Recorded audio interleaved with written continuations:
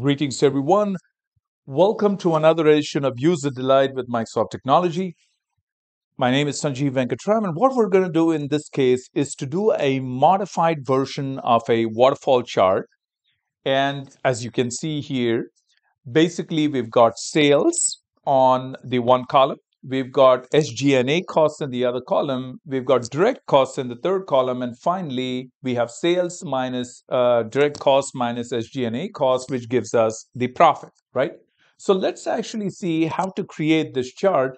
Now, unfortunately, we will not be able to use the visual straight up. So, well, first of all, let's actually look at the data. So if I were to go to the data and then look at, you know, the transactions, basically it's got the country, it's got sales, direct cost, and SG&A right? So the profit is actually a derived entity.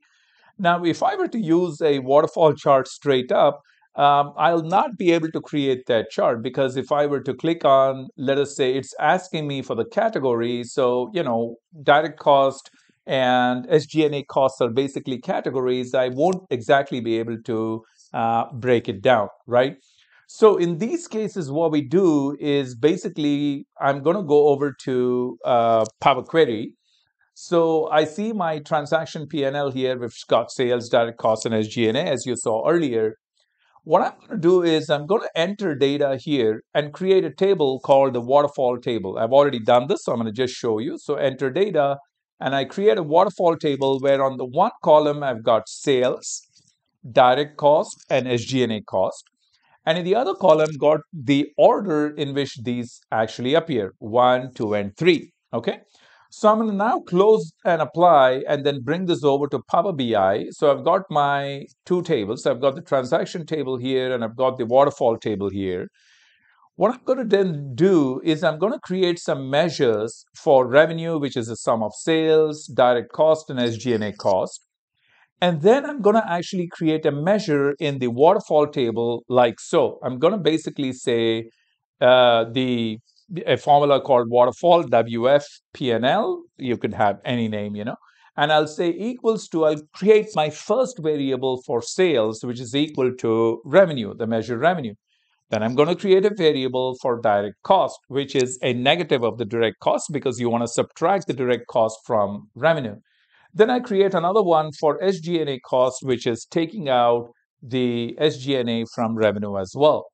What I want to return is I want to use a switch statement over here and then says, give me the max of the order here, start with that.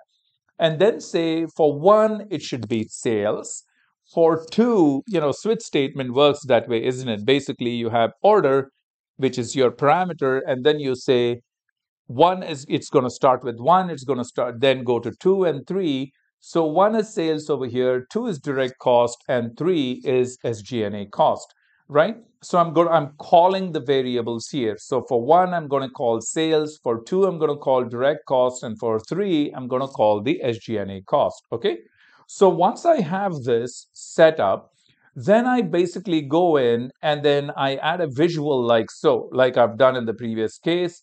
And then I'm merely going to actually enter the formula and then I'm going to enter the items here, right? Item one is my sales. You know, it shows SG&A cost here. I just need to store, sort it, sort the axis and direct cost. So if I go down here, click on the three dots and I say sort axis by items, it basically, and sort ascending is what I will say, sort uh, ascending. It's basically going to say well, I need to sort this proper. So I'm going to just click on this guy here. I'm going to say sort column by the order. And lo and behold, you'll actually see sales, direct cost, and SG&A cost, and finally the profit. Okay. I trust this was helpful. Comes in very handy as you're analyzing variances, so on and so forth. If you're analyzing uh, profit as well, going all the way in your P&L from your revenue all the way to your operating margin. Okay. Thank you very much, folks. Cheers.